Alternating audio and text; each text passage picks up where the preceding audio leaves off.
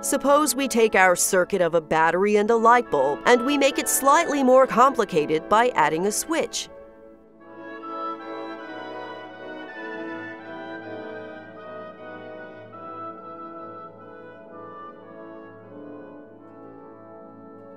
When the switch opens, the charged particles are prevented from passing through.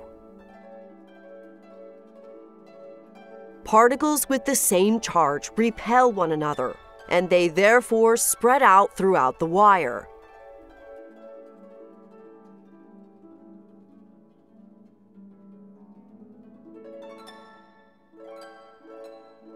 The events shown here all happen at the same time, and this is the result.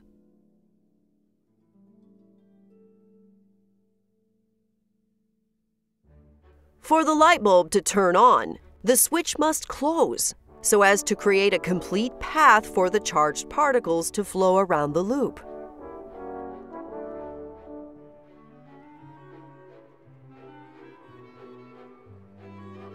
If we have several light bulbs, each light bulb can have its own individual switch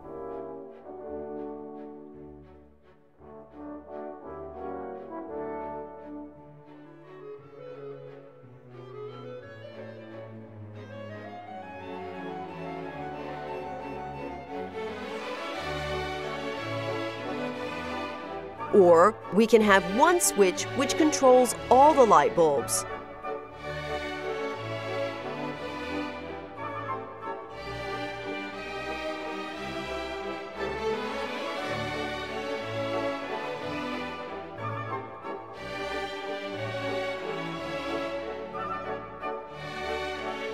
The number of charged particles that pass by each second is what we refer to as the current.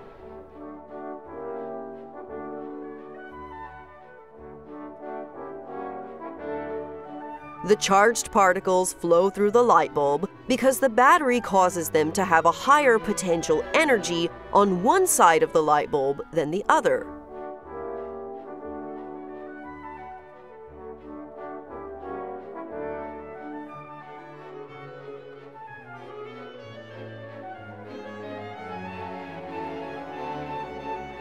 This potential energy is what we refer to as voltage.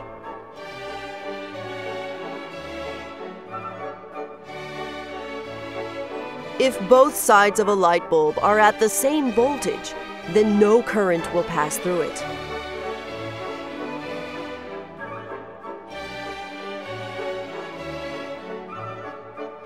As the voltage across the light bulb increases, the amount of current through the light bulb also increases, and the light bulb produces more light.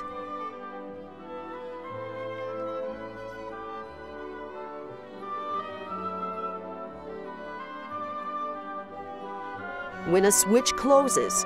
It causes the two different parts of a circuit that it connects to to be at the same potential energy.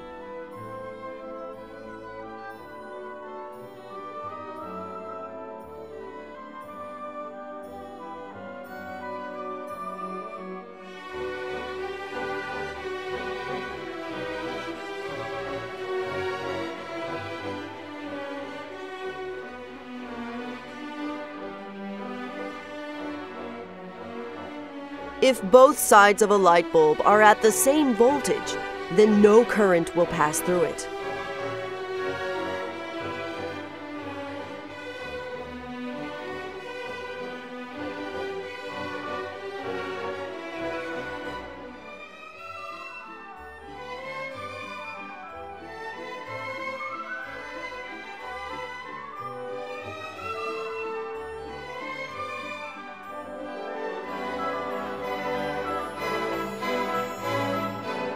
And if no current passes through a light bulb, then this means that both sides of the bulb are at the same voltage.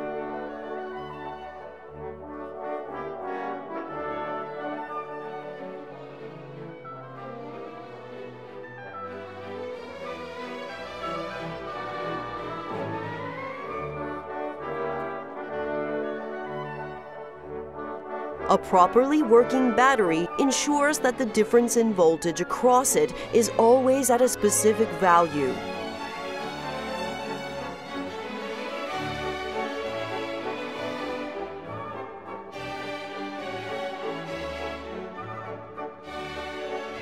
All points that are directly connected to each other through metal conductors and closed switches are at the same voltage.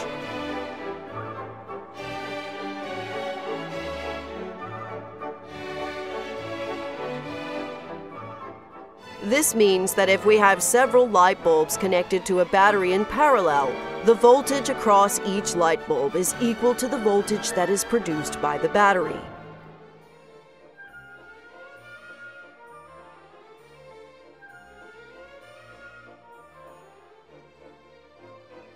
Since the voltage across the light bulb determines how much current passes through it, each of these light bulbs will have the same current pass through it as we had when we had just one light bulb connected to the battery.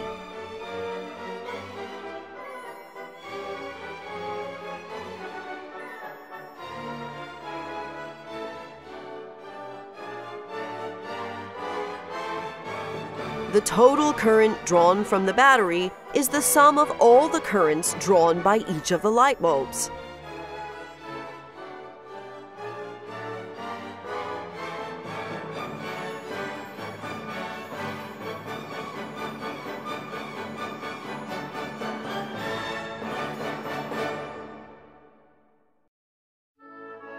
Now, let us consider a situation where we have several light bulbs connected in series.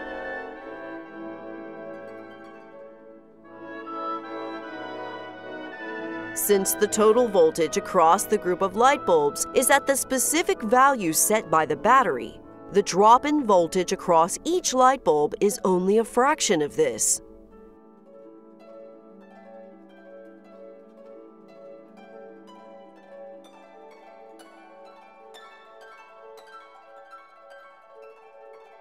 Since the current that passes through each light bulb depends on the voltage across it, this smaller voltage across each of the light bulbs means that a smaller current will flow through them.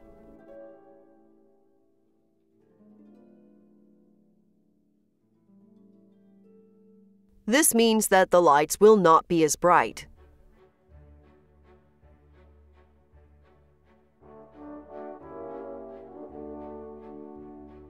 Because the light bulbs are connected in series, this means that the current passing through each of them is the same.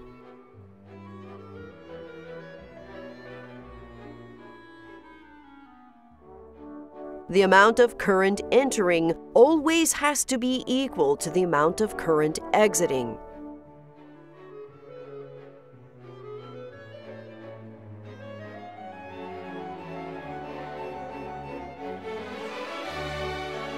This is what we refer to as Kirchhoff's current law.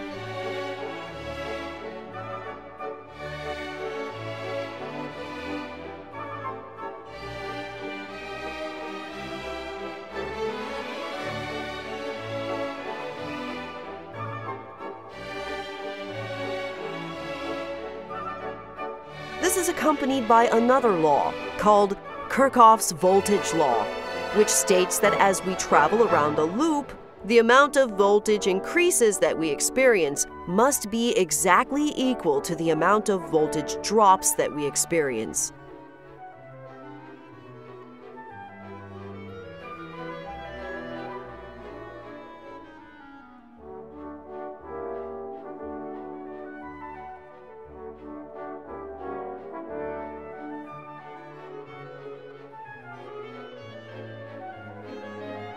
The use of these two laws together allows us to analyze all electric circuits, no matter how complex they become.